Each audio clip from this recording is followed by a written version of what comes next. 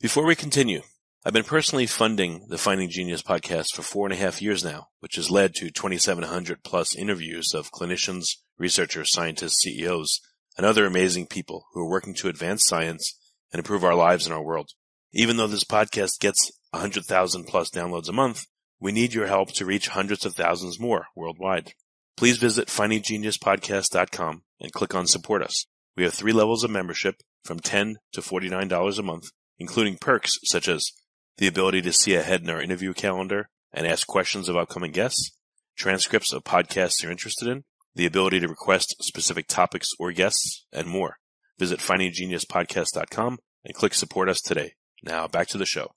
Before we get started, I have a quick favor. I've been self funding the Finding Genius podcast for five years now. I've done over 3,000 episodes. And as you can see on YouTube, we're up over a million views on the channel, which is fantastic. The next thing I really want to push on is to get up to 10,000 subscribers. Because once we do, we'll be able to put a donate button and uh, we'll be able to solicit donations to help keep the podcast running and to also get the Finding Genius Foundation moving along. We have a big project studying anxiety, depression, and PTSD and working on a product to help people overcome these problems because I've seen them explode recently after the, the last two years of the whole virus situation. So if you would, please subscribe to the podcast. That would help us tremendously. Give us a thumbs up and check in the description for Buy Me a Coffee. It's about five bucks. If you could buy me a coffee, I'd really appreciate it. It would help keep the channel going, and I love coffee. Thank you.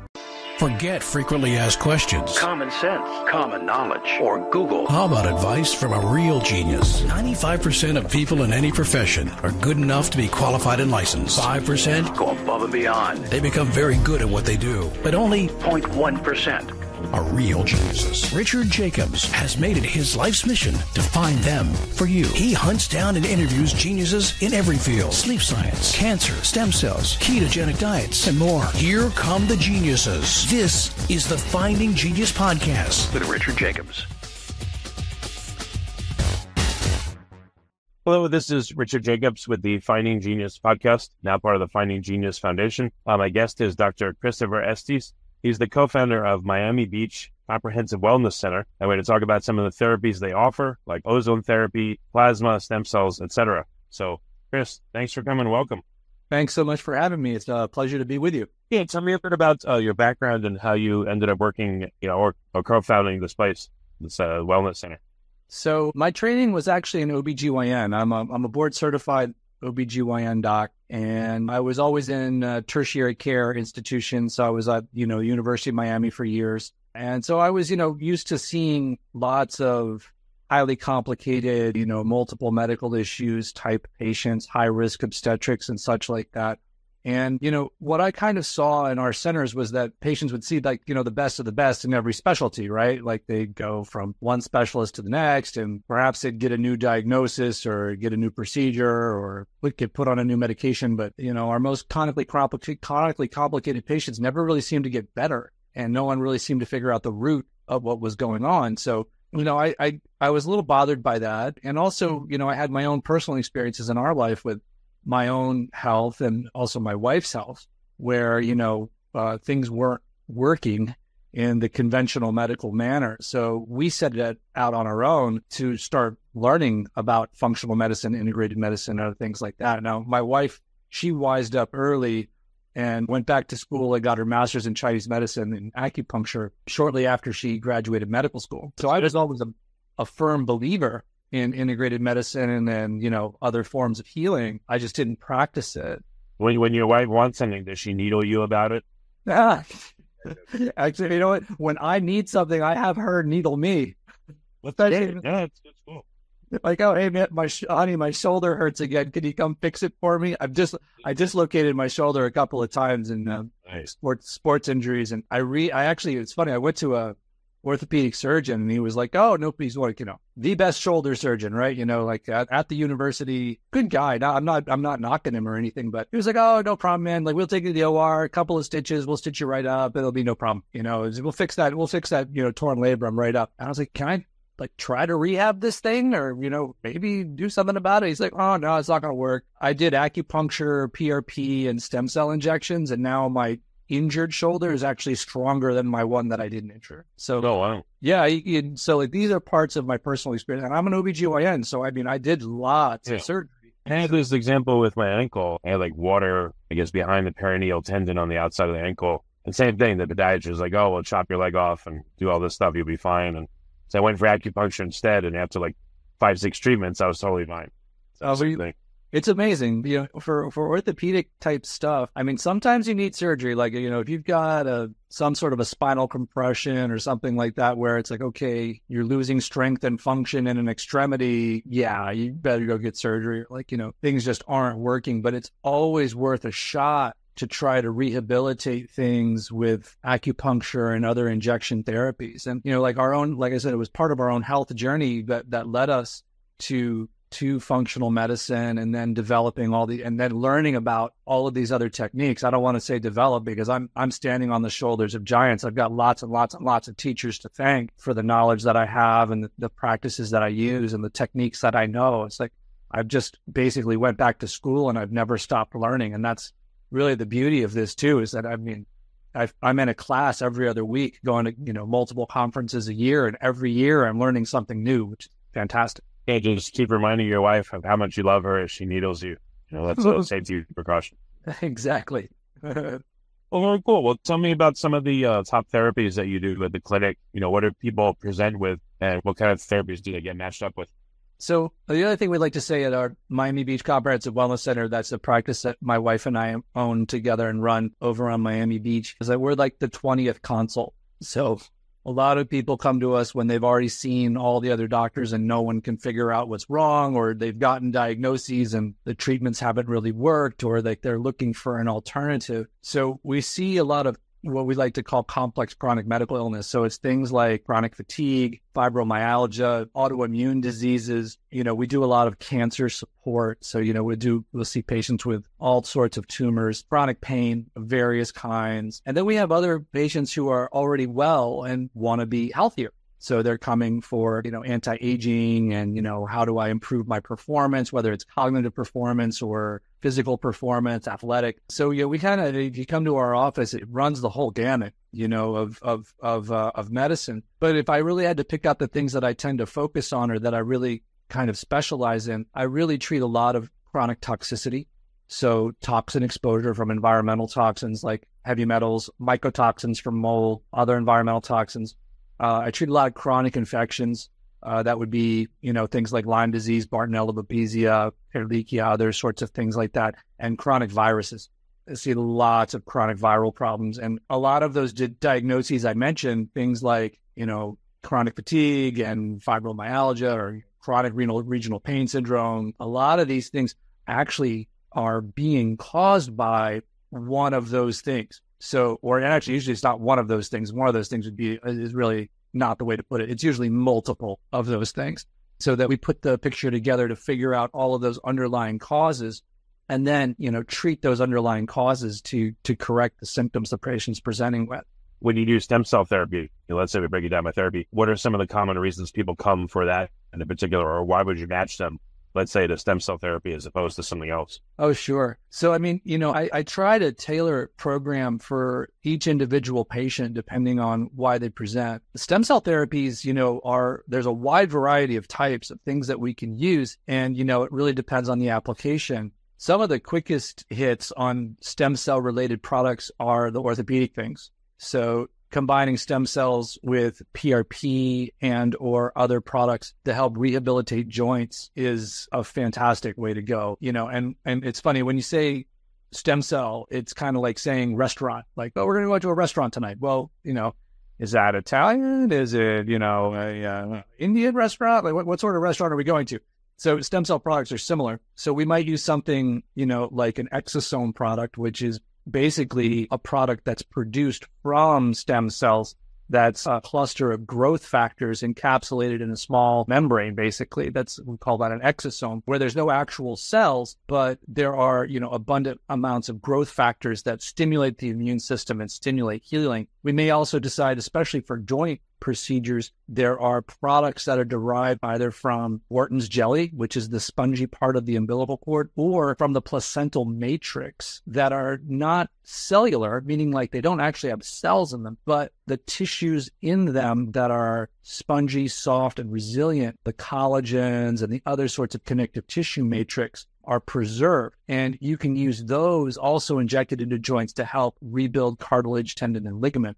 You know, those sort of procedures are, are, are, are very useful for folks, particularly in more advanced stages of disease and also people who are high impact. So, like your, you know, people who are either performance athletes or people who like to pretend they're performance athletes on the weekend so like you know, like I, I like to go and I, I you know I run marathons every now and then, or you know I like to like to hit the gym hard, or you know they play tennis competitively. So folks that they know, like well, I know I'm going to go back out there and put a lot of stress on my knee. Okay, so you may want to do something that's a little bit stronger than something like PRP, and like adding stem cells to the mix is a way to go. Okay, well, what other therapies or modalities are pretty common? Do you do like diet advice? Is that paired with with these other therapies, or is it more again individual therapies and not, not diet? Oh, sure. No, I mean, diet is absolutely foundational. I mean, that's something that we're going to talk about with every person to identify if they have any any need for changing in their diet or if there's diets that are specifically useful for them. You know, so really what I'm going to do with every patient is kind of, you know, list out the map of services that we might offer for them and then kind of guide them through which options might be best. Some people may come in with an idea of something that they really want to do. Like, well,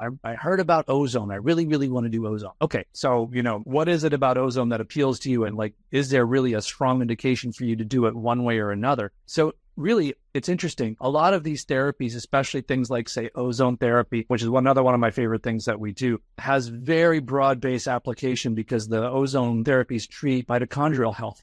So I know you've had guests on here that talk about mitochondrial health and mitochondria and the, the role that they play in all sorts of chronic diseases. So we can use ozone, particularly blood ozonation, as part of their therapy. One of the things I think that we're particularly good at in our practice is helping people determine the timing of all of these therapies because you want to make sure that you put everything in order. So you mentioned something like diet. Well, okay, if we're going to do you know, some intensive IV therapies, intensive ozone therapies, other things like that. I want to make sure I get your diet straight before you do that stuff because we can do a great procedure, but if I didn't manage to diagnose you with food allergies that you have, like if you, you know, need to stop eating gluten and dairy and, and perhaps, you know, some other things on the list, and you go and do a procedure and then you continue eating the inflammatory foods, the procedure is not going to work as well. Right. So those are the sort of lifestyle factors that, you know, we're always going to want to address, whatever they might be. So it's really kind of a one on one choice about things that we do and also what, you know, what the patient is a good candidate for.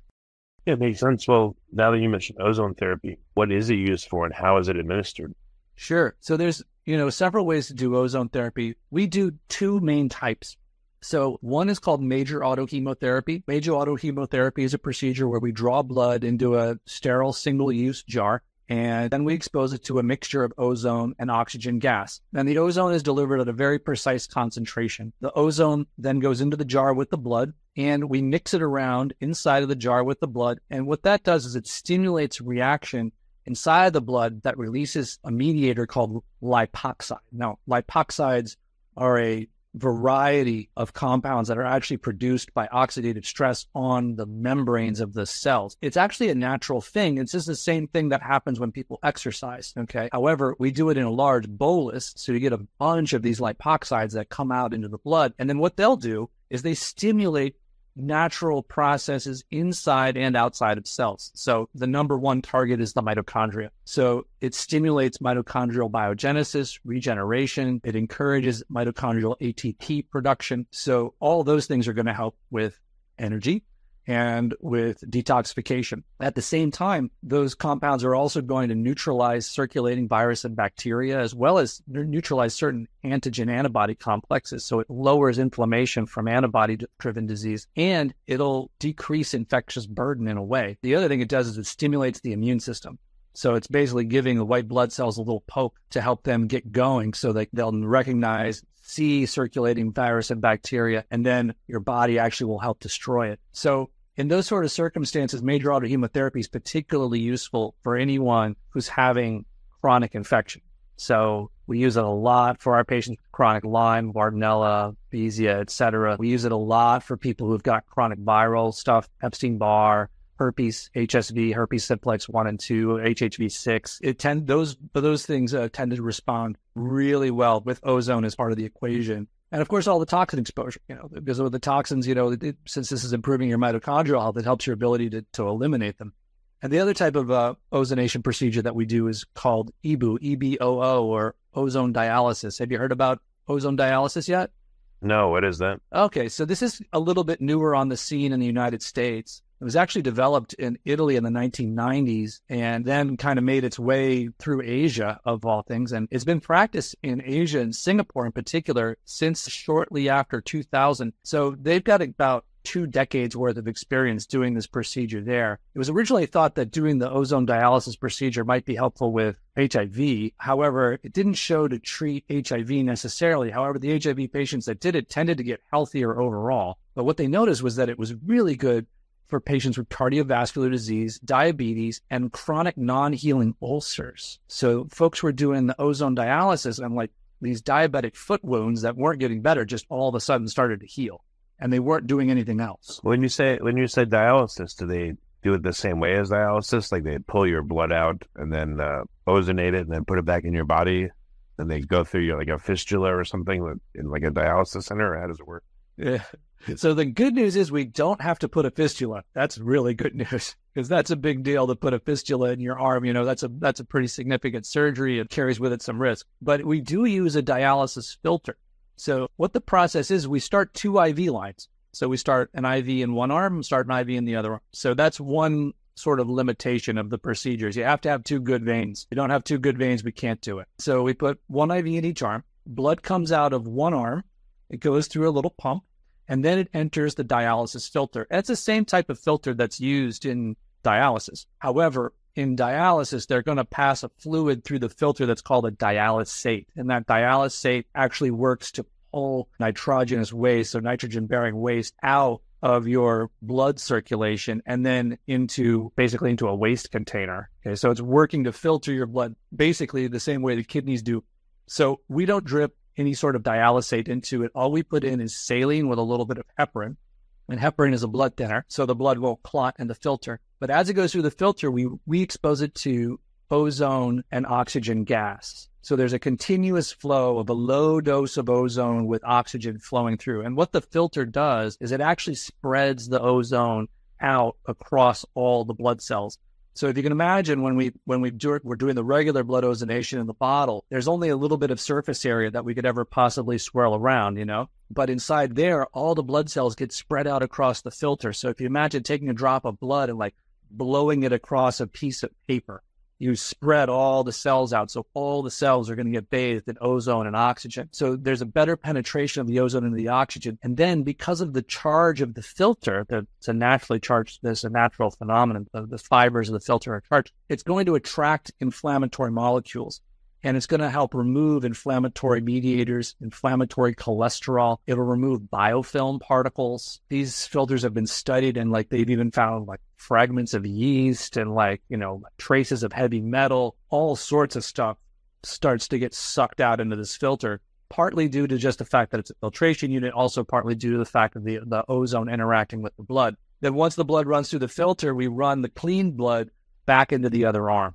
Okay. So it's it's kind of like the next level in ozonation procedures. We will often combine this with a low dose of chelation a few days before. Chelation helps to mobilize metal from tissues. So if people have issues with heavy metal, we'll give them a small dose of chelation a couple of days before so that there's more metal circulating in the blood. And then more metal will actually be removed in the filter as we do the process. Huh. And again, what, what, what kind of heavy metals do people tend to have and what, what are the um, effects of these heavy metals? Oh, sure. So, I mean, the most common metal toxins that we see are mercury, arsenic, lead, and gadolinium. Gadolinium is in MRI contrast. And, you know, MRIs with contrast, you know, are done really frequently. And, you know, where we were taught in medical school, oh, it's, yeah, it's metal, but it's no big deal. You're going to pee it out in like two weeks. You know, it's not toxic. You know, it's no big deal. Don't have to worry about giving people gadolinium. Well, that's not exactly true because gadolinium will bioaccumulate, meaning it will deposit in your organs, in your bones. okay, in your kidneys, and people will carry gadolinium around after an MRI, sometimes for years. I, I personally have seen folks who had one MRI four years ago and still had gadolinium coming out in their urine. So it's impressive. That's crazy. One Yeah, it's very MRI impressive. So- four years ago. Yeah, from years years prior. No. What what are the effects of mercury, gadolinium, et cetera, like these various heavy metals? I'm sure they're all different, you know, lead and all that, but what you know, what are they effects? It's, it's interesting. They're, they're similar but different. I mean, the, each of them have kind of, you know, pathognomonic sort of toxicities, like uh, lead, for instance. You know, lead is highly associated with cardiovascular disease. So that's known, accepted. You can read that on the American College of Cardiology, American Heart Association. They all agree, yep, lead lead toxicity will give you heart disease. That's not, you know, these these weird integrated medicine doctors telling you this. Mercury too, also associated with heart disease. Mercury also is associated, and mercury and lead both are also associated with neurodegenerative disorders, so Alzheimer's and Parkinson's.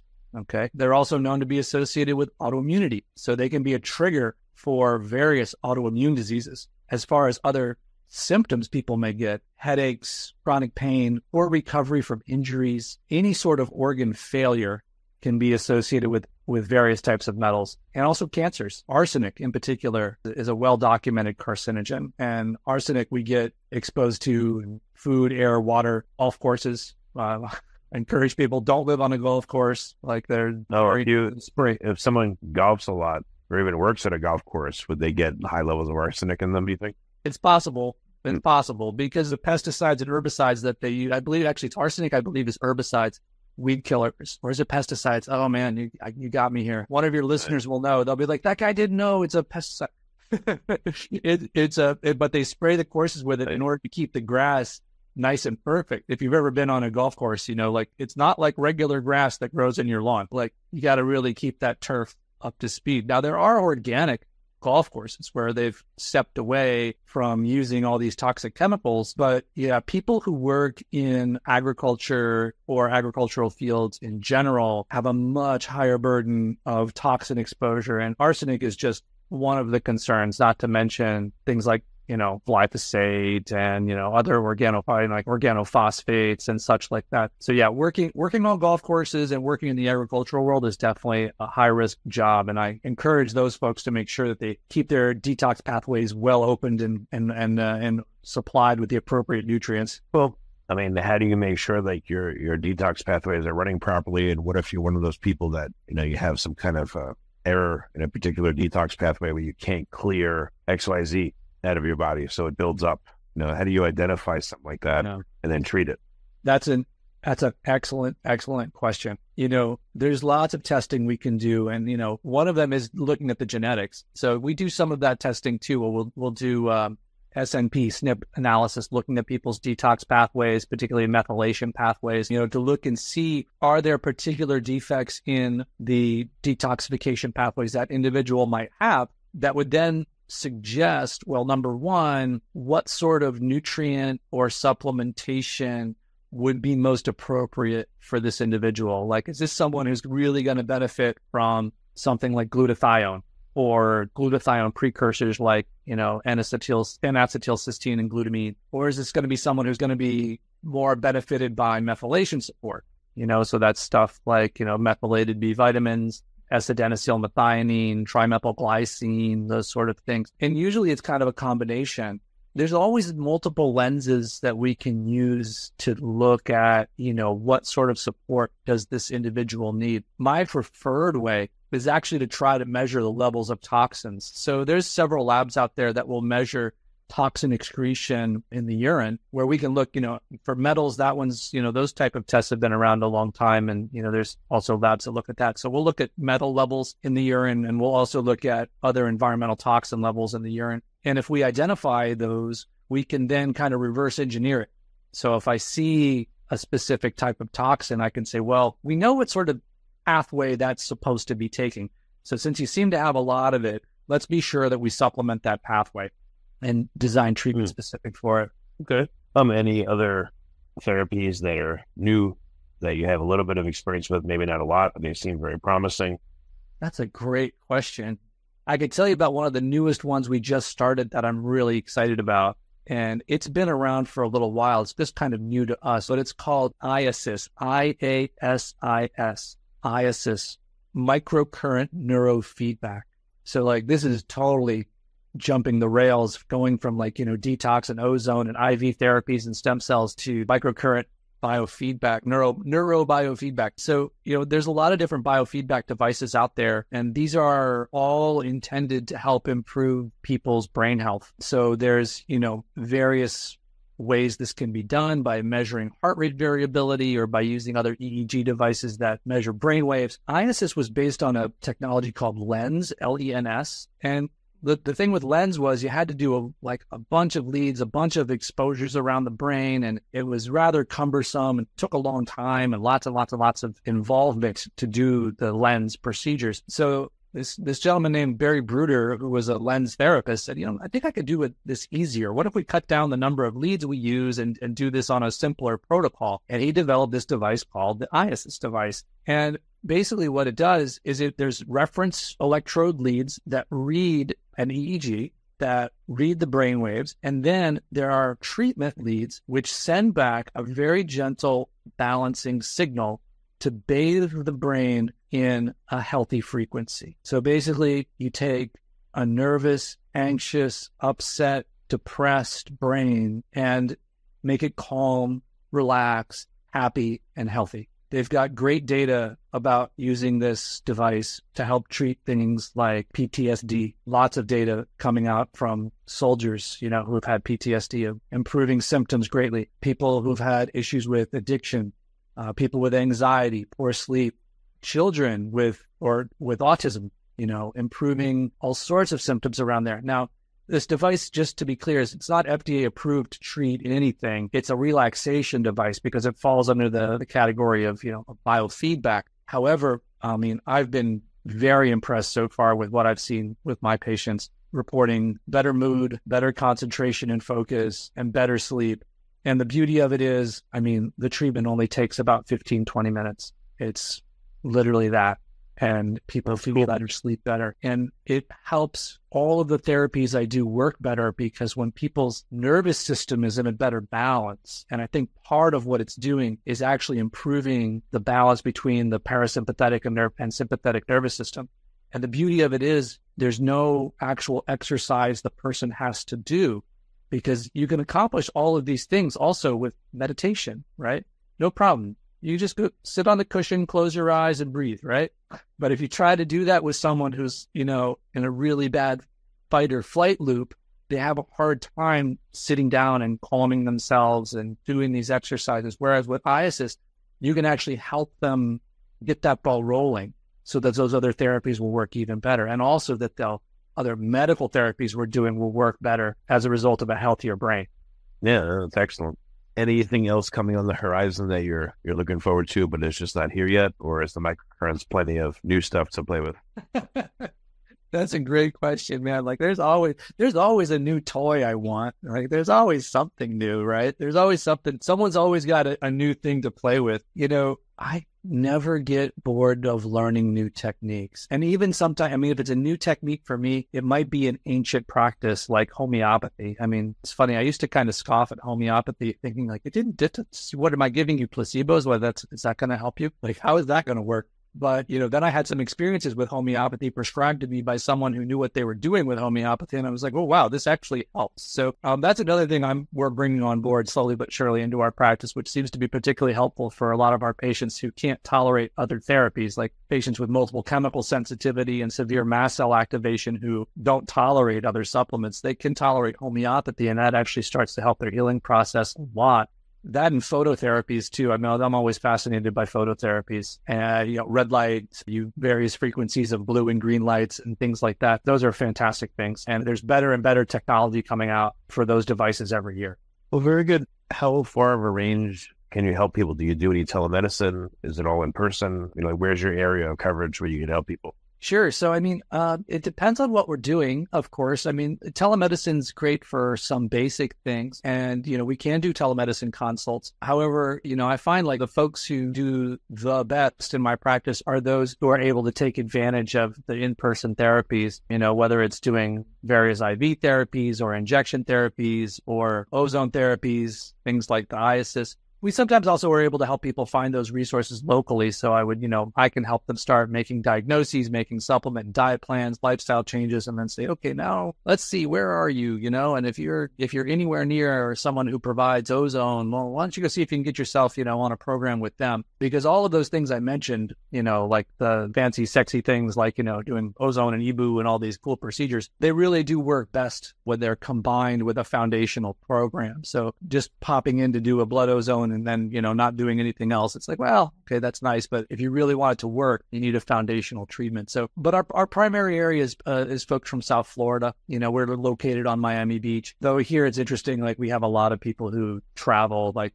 they're in Miami for a couple of months a year, then they're, you know, on the West Coast or they're up in California, they're up in New York or, you know, some, I have a lot of patients too that go back and forth to Central and South America. So beautiful thing about Miami is like we have a lot of variety. All right. Well, excellent. Well, thank you for coming on the podcast and talking about all these new therapies. And I'm glad that there's places out there like you guys and not just the, the traditional, you know, medicinal approach, which I think has a lot to learn from these alternative therapies. So, yeah, thank you. Thank you very much for having me. If you like this podcast, please click the link in the description to subscribe and review us on iTunes. You've been listening to the Finding Genius podcast with Richard Jacobs. If you like what you hear, be sure to review and subscribe to the Finding Genius podcast on iTunes or wherever you listen to podcasts. And want to be smarter than everybody else? Become a premium member at findinggeniuspodcast.com. This podcast is for information only. No advice of any kind is being given. Any action you take or don't take as a result of listening is your sole responsibility. Consult professionals when advice is needed.